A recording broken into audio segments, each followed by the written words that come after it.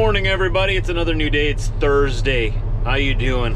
Our topic of conversation for you guys in the comments section today is once again related to the shortage of truck drivers. Now, remember what we talked about last week? Yes, there's always been a shortage of truck drivers. That's been for decades. That's why there's many people who come here from all over the world to drive truck because we need drivers and there's not enough people here not enough Canadians here who want to do the job for some reason. I think it's an awesome job, and I think you would love it as well, uh, just as well as I do. But for some reason, millennials around my age want to start at the top, at the top bracket of wage. They don't want to start at the bottom, work their way up. So uh, with that attitude, it's very hard to get people into the industry because you have to start somewhere and work your way up. You can't start at the top. But anyways, all you hear on the news and media, even on like uh, podcasts online, they're talking about the shortage of truck drivers. Nothing's changed. There's still a lot of truck drivers out here. Yeah, there are supply chain issues, and we're going to talk about this. Uh, if you want to go to transportationnation.com and click on their article, it's called Shortage of Truck Drivers Not to Blame for Worsening Supply Chain Crisis, group argues. It was written on October 13th, 2021. Uh, the author on here is not listed as far as I can see. Maybe it's listed at the bottom. I would like to give credit to who wrote it, but uh, transportationnation.com.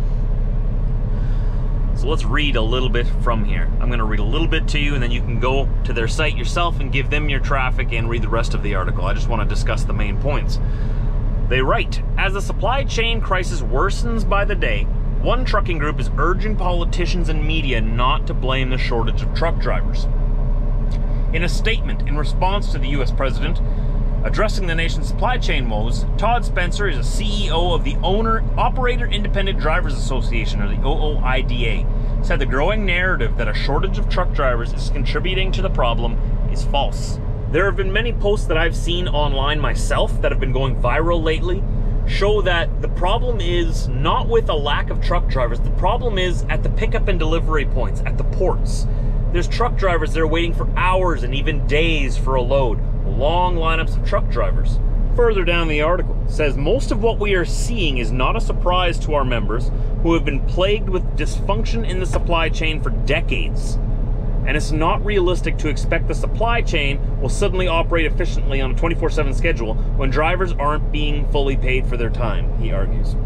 Drivers are experiencing the domino effects of supply and staffing shortages, which are preventing them from complying with federal regulations. So, what he's saying is drivers get paid by the mile on the road. When they're sitting there waiting for a load, they're not getting paid. So, they're sitting there waiting for hours and hours and sometimes days for free to get a load from the ports. It's the ports that aren't unloading the ships and loading them onto the trucks fast enough. Now, I'm not an expert in any of this. I'm just reading you the news. You can go check out the article for yourself. But I've been seeing these posts go viral on the internet with hundreds of truckers lined up at the ports waiting for a load. And the cranes are just sitting still all day, not unloading any of the ships, not loading up any of the trucks. So I don't know what's going on. I'm way up here in Manitoba. We're not a port city. We don't have a big port here, but we do have trains that bring in the containers from the ports as well. And if those guys operating the forklifts or those big machines that unload the trains here onto the trucks, if if they're just not working or if there's a uh, an employee shortage on their end, well, yeah, it takes a lot longer for the containers to get unloaded here at the train train stations as well, and at the rail yards. But at the port cities on the coasts, they're having problems unloading the trucks fast enough. We, we shut everything down for, for a while, right? Everything was stopped. And now to kickstart everything, everything's backed up, everything's backlogged, plus you have a shortage of employees unloading trucks. It's not entirely a trucker shortage that's causing the supply chain issue. Like I was saying last week, yeah, sure, there's a there's a truck driver shortage. We're all fighting over the same pool of drivers. We'd all love you to come work for us. But it's not just that. The media and politicians in Canada here as well seem to be blaming it purely on a trucker shortage when there's a whole lot of other factors at play as well. Does that make sense? The link to Transportation Nation is down below uh, the, in the description of every one of my videos. At least it should be there. If for some reason it's not, it's easy to find. Transportationnation.com. And you can go find the article for yourself. It's it's a very interesting read. You know, I, I don't want to get into the into the trap of you know finger pointing. Oh, it's not my fault. It's their fault. Or, oh, it's not their fault. It's it's their fault. There's a lot of issues at play right now, and we are in the middle of a supply chain crisis in some regions. Like I said, Manitoba's not a port city. There's always been a shortage of drivers here, but I don't think we're feeling the effects as much as the people on the coast. The American Trucking Association has long argued trucking is plagued by a labor shortage. Like I've been telling you, of course there's a labor shortage. Oh, there always has been. It's not new. This isn't a new thing. The news is just talking about it all the time now. And every time I hear it, I roll my eyes. I'm like, this isn't new. This didn't just start this year or last year. This has been going on longer than I've been alive. We need truckers. That that that's a fact. But it shouldn't be blamed for the supply chain issues right now, is what, what I'm saying. So the US Senate's recently passed a $1.2 trillion infrastructure bill. One that's a lot of money. It includes an apprenticeship program which will allow U.S. drivers as young as 18 years of age to operate big rigs cross country. I agree with that. I got my big rig class 1 license, my CDL, when I was 18 because here in Canada, where I'm at, in Manitoba, you can do that at 18. And I make that that makes perfect sense to me. When you're 18, you're old enough to be trained in the military, to fire a weapon, to go off to war and die for your country. But you're not old enough to drive a big rig across the highways of your own country? But you can go and, you know, drive tanks on the other side of the world or go to war. So I agree with that. Yeah, they should lower the age to, uh, because by the time drivers get to, or by the time kids get to the age of 21, they've already decided on a career path. You know, when they get out of high school, they go through college. By the time they get out of there, they're not thinking about trucking, they're thinking about something something else. So we want to grab them as young as possible. And I think 18 is a reasonable age, as long as they're well trained and responsible. Now we all know some 18 year olds out there should not be behind the rig, uh, behind the wheel of a big rig. Okay, I, I, I hear you there. But my argument is if you're old enough to go to war and die for your country, you're old enough to drive a truck down the interstates and highways of your own country. That's, that's my opinion. What do you think? Let me know down below in the description. Is 18 too young? It's going to be a very messy day here. But that's okay. I'm looking for a flat roll tight. I gotta go to Teulon. I guess what we were gonna pick up yesterday wasn't ready and it's gonna be ready today or something. I don't know, I'm not in charge of that, but I am in charge of getting that freight and bringing it over here. There's four drops on it. One's going to Utah and three are going into California. So if you want to come drive here, that's a route that you could be on be kind of nice to go down there. It's a lot warmer there. Palm trees, that's always a bonus. I miss palm trees. Here's a flat roll. Oh, there's one here. No, that's a step. I'm to see this one, the blue one right here. See what's in here. See if it's empty. 604. 604. Are you empty? Let's take a look.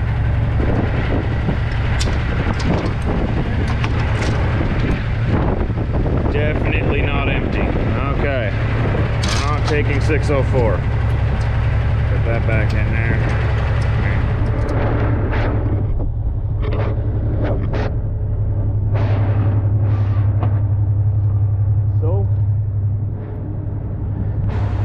They unloaded the freight that was in here because this is the only flat roll tight we have in the yard and I need one to pick up in Teulon.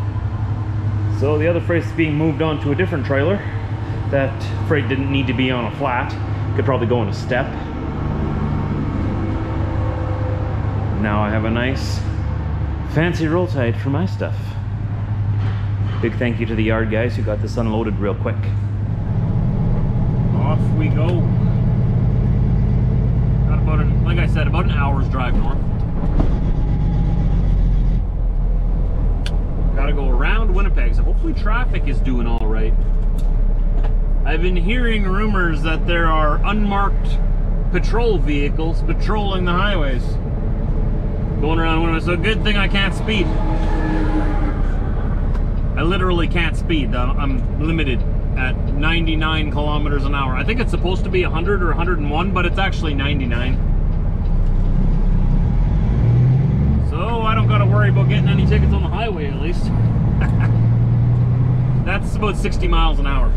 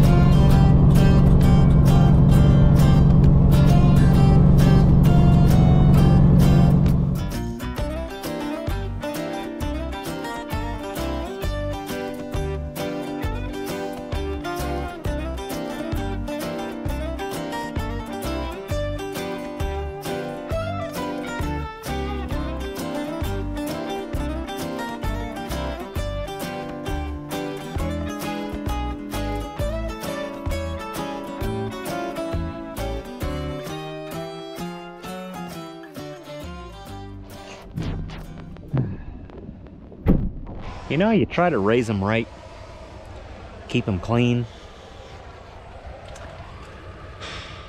and they just end up getting dirty anyways. But at least I only have today's dirt on it and not yesterday's. I'll probably uh, give it a wipe down here yet just to keep up with it. As long as you keep up with it, it's not that much work to keep it clean. Just gotta keep wiping it down all the time. But you know, the weather doesn't really help sometimes, but that's part of it. You know, some people say, why would you clean it? It's just going to get dirty again. Well, you clean it now, and if it gets dirty, and you clean it again. That's why I have lots of uh, microfiber towels with me.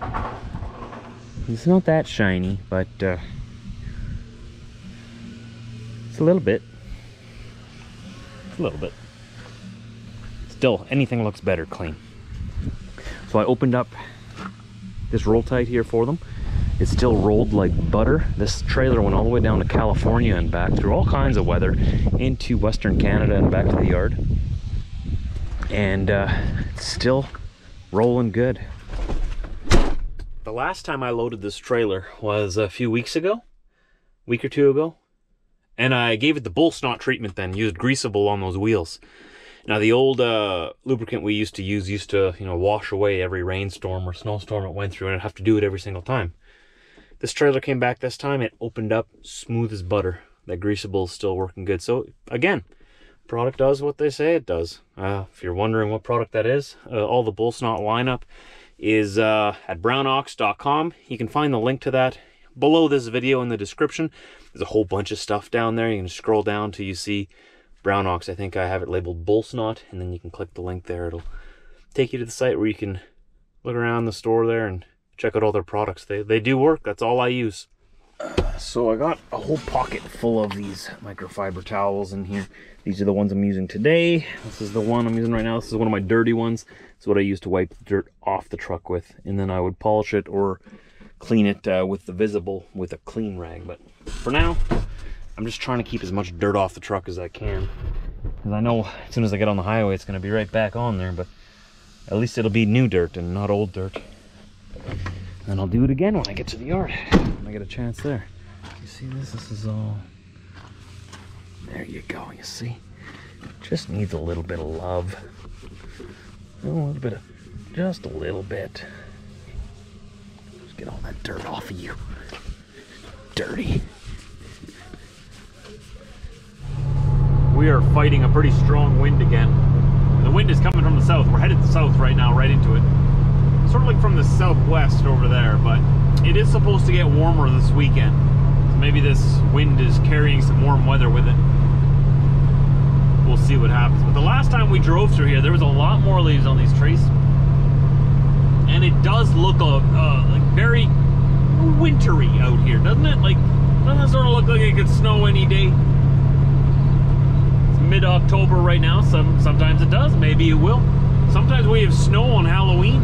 We go trick-or-treating in the snow sort of limits you to what kind of costumes you can wear because they got to be warm.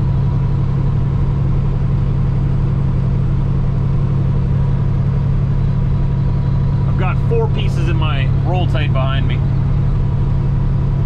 Not sure when it's leaving the yard, uh, but I'm guessing it'll probably be leaving today or tomorrow. Got to be in uh, Utah for Monday. I don't know how far, St. George, Utah. So that's like at the southern end of Utah there. I've been through there before. And uh, I'm pretty sure that's like a three day drive or two and a half day drive. So what is this, Thursday, Friday, Saturday? So, I guess they could leave tomorrow morning. All depends on the driver when they want to leave. Oh, we got ourselves a winner. Missing a headlight there, my friend. I don't think they care. Oh, your signals are broken too. Huh? How about that?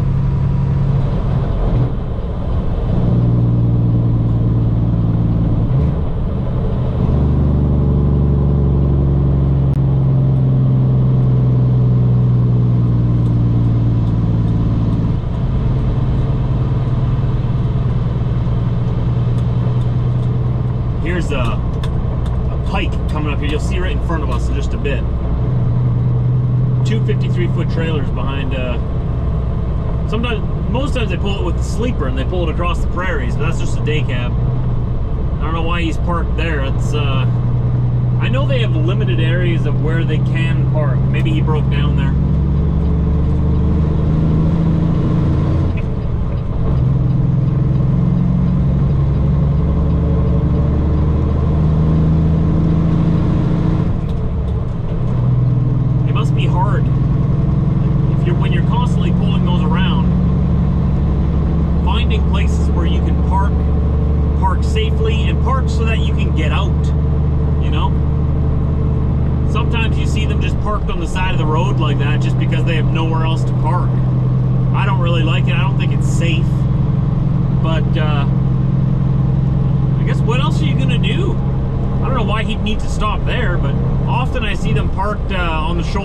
truck stop running in to get a coffee or buy a Timmy's.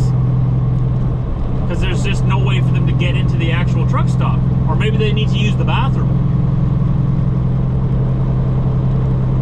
And what are you going to do? You're going to build every truck stop big enough to fit that big unit in there? That's a lot of space you need to turn those around. And if you get yourself in a corner, there's no backing up.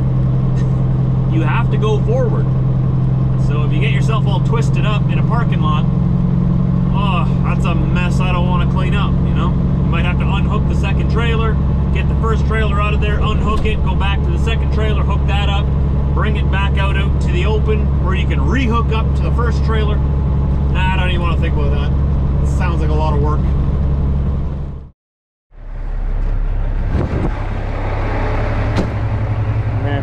Messy, messy. Everything is messy.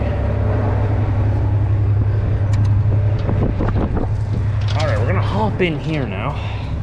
this is uh, what I loaded, four pieces of this, one, two, three, four. I have to see how much trailer space uh, this actually takes up. Uh, they want to know, I guess, for their records, so they know for the future. So my feet are exactly one foot long. Isn't that convenient? They're exactly 12 inches long in my shoes. So it's very handy when you want to measure things in feet. I just use my feet. Who knew? A foot is a foot long. At least my foot. You know what they say about guys with big feet, right? They got big shoes. All the space back here yet. Okay, well, let's see how many feet my heel up against that. One, two, three, four, five, six, seven, eight, nine, ten, eleven, twelve, thirteen, fourteen. 14 feet in the back. Let's try it one more time from here, okay? From the edge here. One, two, three, four, five, six, seven, eight, nine, 10, 11, 12, 13, 14, and a bit. So about 14 feet, yep. I always count twice. Just in case I counted wrong the first time. You never know. Sometimes my counting. Eh, I'm a truck driver. I'm not a mathematician. Don't look now. But there's a real nice peak behind me. I said don't look. I know I can't help myself either. Another rainy drive home. Both yesterday and today have worked out perfect, where I don't have to work in the rain during the day, but both days on the way home, it rains pretty good. So I'm okay with that. I get to stay dry. The earth needs the rain. It's it's okay. Not too much though. Don't, don't go crazy. A little bit's good. As long as it doesn't turn to snow, right? And like I was telling you earlier, we're expecting some really nice weather this weekend on Saturday and Sunday. Hopefully we get that.